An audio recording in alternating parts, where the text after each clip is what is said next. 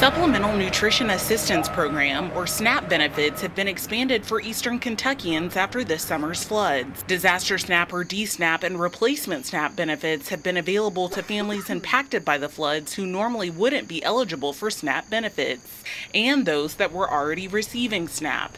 The benefits that are available for people that were um, receiving food assistance prior to the disaster, they still have a few flexibilities within that program to make sure that they're able to get the food that they need. While DSNAP benefits expired earlier this month, Kentucky Policies Associate Jessica Klein explains that extended benefits and hot meal waivers are still available to people in the region. Um, for example, those families can use what's called um, a hot foods waiver. So they're able to purchase hot foods that would normally be eligible with their SNAP benefits. So, for example, they could go to a grocery store and buy uh, rotisserie chicken, which they normally wouldn't be able to buy. Leaders with Kentucky Policy tell me that right now, around one fourth of Eastern Kentuckians have already been using some type of food assistance benefit.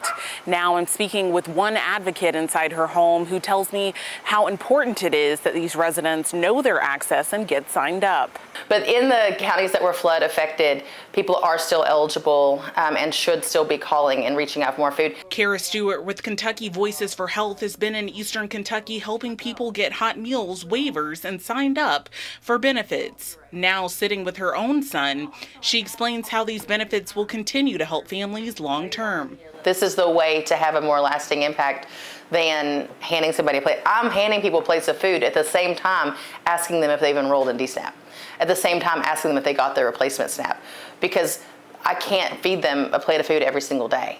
But they can get that plate of food if they're enrolled in, in SNAP and DSNAP. These leaders know there's a stigma around applying for food benefits. Kentucky policy leaders say this is nothing to be ashamed of. Um, you know, the average SNAP participant is a working family.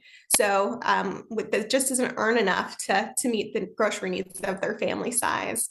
So, you know, I think it's it's important to remember that working families across Kentucky might need help with food assistance and you know, it's nothing to be ashamed of. Organizations continuing to help the people of Eastern Kentucky. In Lexington, Rachel Richardson, LEX 18 News.